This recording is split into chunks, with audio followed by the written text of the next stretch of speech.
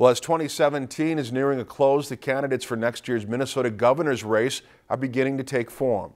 Clayton Castle was in Baxter today as the GOP candidates participated in a forum to lay out their visions for Minnesota. We're still 11 months away from Election Day, but the race for Minnesota governor found its way to Baxter today, where the GOP candidates were able to introduce themselves and explain why they are best suited to represent not just Minnesota, but specifically the Brainerd area.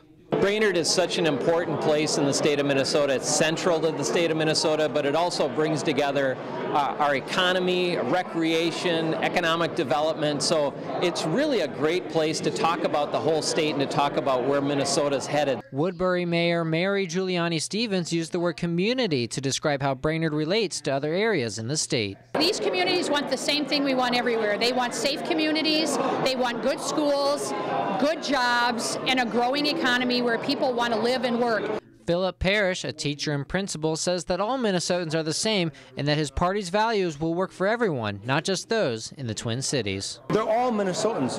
Why are we having the government pick winners and losers? Why are we having the government choose who kind of gets a leg up and who doesn't? It doesn't make any sense.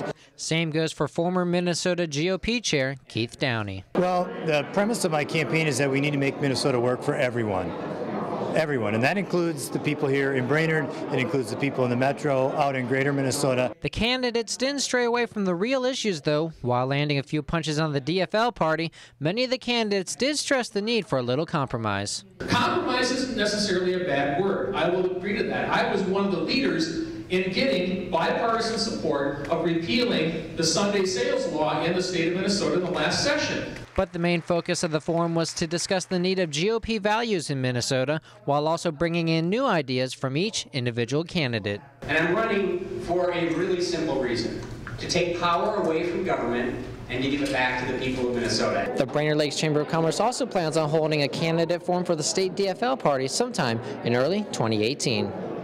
Reporting in Baxter, Clayton Castle, Lakeland News. The winner of next year's election will replace Governor Mark Dayton, who has announced that he will not seek a third term. If you've enjoyed this segment of Lakeland News, please consider making a tax-deductible contribution to Lakeland Public Television.